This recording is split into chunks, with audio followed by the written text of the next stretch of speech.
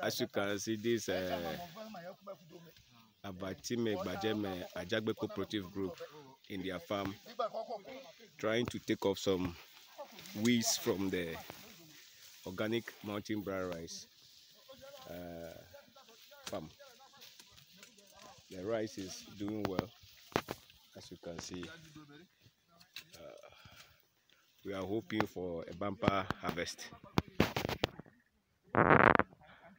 The men are the one side and the women are also doing their best here in the same farm.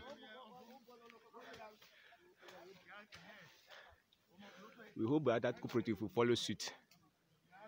Uh, as the main season get closer, I plead that all the cooperatives should be able to at least cultivate one acre each in all the communities in Avatime so that we see what happiness.